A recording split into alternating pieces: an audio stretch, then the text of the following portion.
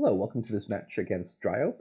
Uh, this is the second match of the no terminals mix. As we see here, all of these cards are not terminals. Everything's got either plus action written on it or is a treasure or a knight. Got Banisher, which could be useful. Um, Groundskeeper can generate a lot of victory points. Um, so you want to try to get a lot of Groundskeepers in plays if you can. The problem here is you can only gain one card a turn. You could technically gain two with experiments, but it's hard to gain a ton of groundskeepers. For example, if you're getting one groundskeeper a turn, they're getting a province a turn.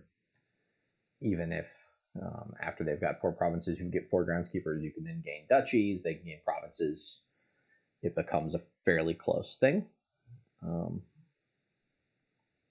but if you have deck reliability and you can reliably do that, um, I assume both players will contest groundskeepers probably. Um, I want to thin down quickly, um, which I think means loan. Um, but I also want to get a relic fairly quickly and an apprentice to thin estates. Although you can thin estates with, uh, you can potentially thin estates with banish. So may look to do that instead of an apprentice. I think I'm certainly going to open one silver, and I think I'm going to open experiments as well to try to get a big banish off early and avoid having to do the loan stuff. Um, especially if I'm playing with the silver and a relic, the loan is often going to reveal a card I don't want to trash. The idea behind the experiments is, is to hopefully on turn three or four draw a bunch of cards and be able to banish uh, two or three estates quickly, and then pick up maybe an apprentice, maybe a minion. Um, but I think the first five wants to be relic. Um, the attack is just just annoying enough that it seems worthwhile. I don't have any spectators to start the game because there's another big match going on. Um, but once that match finishes, I suspect we may we may get a few uh, get a few people watch it.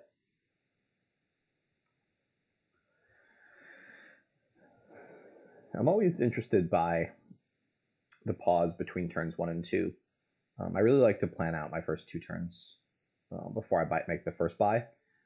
Um, but I can also see like, well, I'm buying silver plus either one of four things. So you can sort of buy the silver, but sometimes when you think about it for long enough on turn two, you realize, wait, I wanted to get four experiments instead of two, two experiments in the silver or something. I'm um, not really sure. So I wonder if you play with minions in the deck that I'm talking about. I think because you're buying like estates with your groundskeepers, um, so this is five. Next turn is going to be uh, experiment four coppers estate. So I think I'm going to go ahead and banish two now. I think that accelerates me the fastest. Yeah, this is a little bit sad, but I can get two more experiments. And then maybe banish a bunch of uh, coppers next turn. Um, they were able to play one experiment, banish two estates. We'll see if they hit five this turn. Um, the literal, yeah, the last card of my deck is an experiment. Given this pause, it feels like they had the same the same boat. Nope. Um, so they're going to be slightly ahead going into the second shuffle. They bought a minion. Yeah.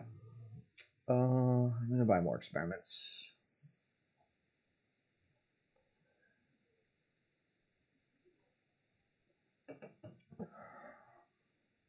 So they are first player here, so they expect to be slightly ahead um, at this point in the game. I think there's still a lot of game left in terms of what you buy with the fives. Um, I generally do prefer um, the relic stuff over the minion here. I think at least first. Um, eh, maybe the minion's going to be better. I'm not sure. I want I want to get the deck fairly thin fairly quickly. They're going to banish one estate. Okay. Okay, so now this is kind of the dream, the dream of what I was doing. I'm going to banish four estates here, and then I'll have a five card deck, and I can just start adding in good stuff. So I can add in minion, I can add in relic. I'll pick up an apprentice at some point, and then I'll just start buying Do I want the minion first or the relic first? I think I want the relic first. Um, the attack is going to be a little bit more consistent. I don't necessarily always want to discard with the minion. Uh, do I?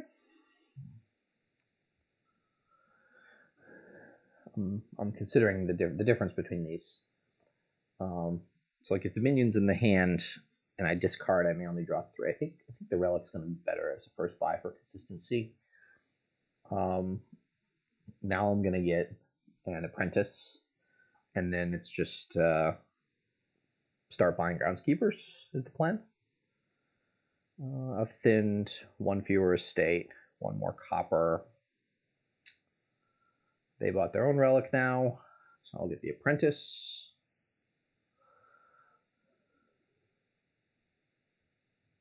Not quite sure what to do with four here. I can consider trashing a copper or just buying the uh, buying the groundskeeper already.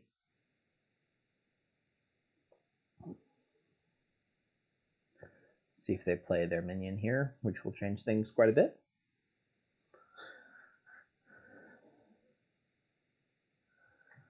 So the difference between our decks is I have an apprentice and they have a minion. Um, I have one estate, they have one copper difference. So um, the apprentice can thin the estate, and then I'm just going to start buying groundskeepers.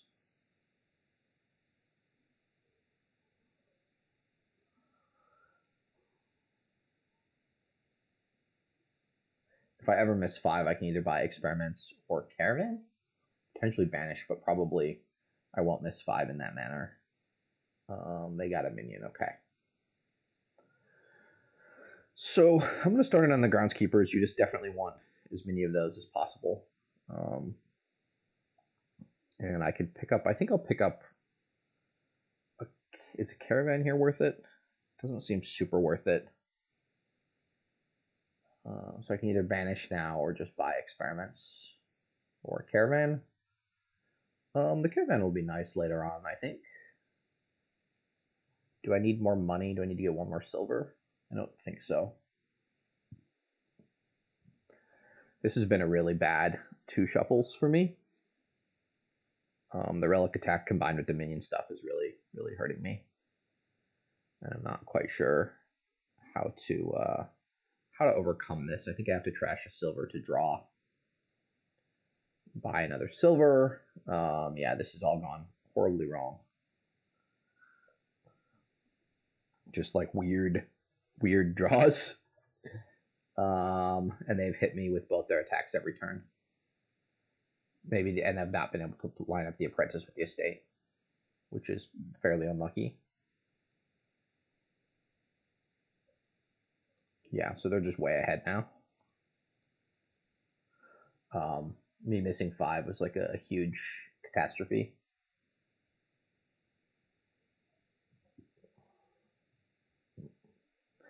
And again, I had like a decent starting hand, and then they minion me, and it's significantly worse. Um, I do have the caravan coming into play, but